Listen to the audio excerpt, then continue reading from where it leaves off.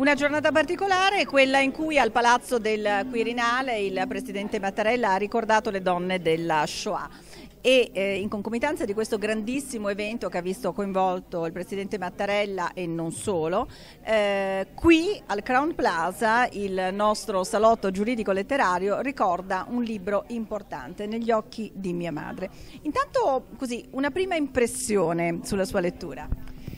È un libro che si legge agevolmente e soprattutto che tratta il problema della Shoah, la tragedia della Shoah in modo diverso rispetto a molti altri. È un libro delicato, un libro che parla d'amore, che contrasta l'indifferenza perché dimostra attraverso la storia di questa bambina come non incontrando persone indifferenti si può ottenere la salvezza ed è incredibile come questa bambina ne trovi tante di persone non indifferenti alla tragedia della Shoah. È un libro che ha dei passaggi eh, particolari, come abbiamo detto in questo incontro che è stato molto accattivante, sono stati interventi di livello, è un libro che parla di amore, di mamme, di donne, di donne coraggiose e di bambini, di bambini, una bambina. Questa bambina però ne, diciamo, ne rappresenta molti.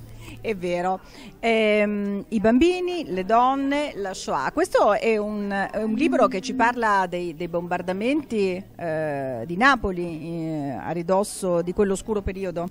Eh, bombardamenti che distruggono palazzi, edifici, muri, i muri delle case che ci dovrebbero proteggere ma bombardamenti che lacerano e lasciano delle ferite nel cuore. È vero che gli edifici si possono ricostruire, ma le ferite del cuore sono più difficili da rimarginare.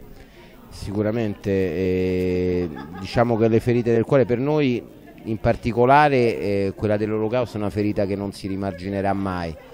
E il dovere di, che sentiamo è quello di, che non si dimentichi, che insomma, rimanga ora che stanno sparendo i testimoni della Shoah eh, che, che, si ricordi questa immane tragedia e soprattutto la si analizzi perché non si ripeta più, nel senso che come è stato possibile eh, diventa incomprensibile. Più si indaga sulle ragioni della Shoah, sulle ragioni dell'olocausto, sulle ragioni di questa tragedia immane, più si rimane sconcertati dal non trovare una plausibile giustificazione a quella che è stata la follia umana.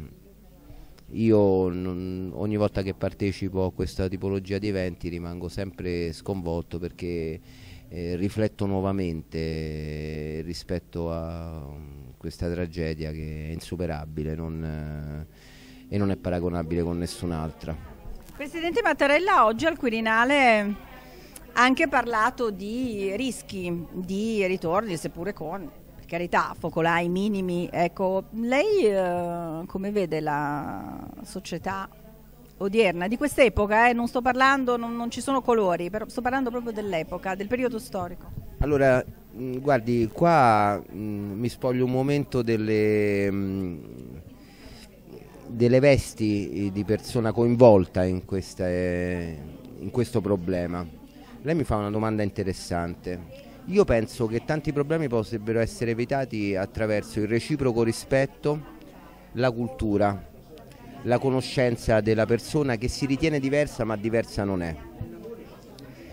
E questo vedo che alla società attuale manca. Mm, siamo una società, mm, questi ragazzi sono bombardati da mm, messaggi che molto spesso eh, trascurano i sentimenti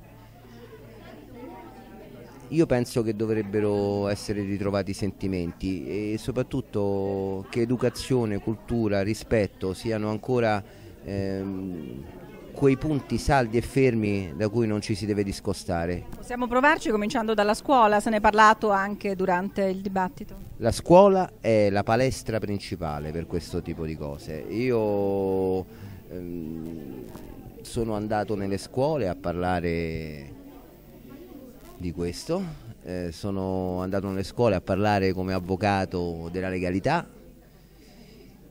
e quando trovo una platea di ragazzi interessati e che questi valori magari li riscoprono anche attraverso il nostro intervento, sento che magari serve a qualcosa. Grazie.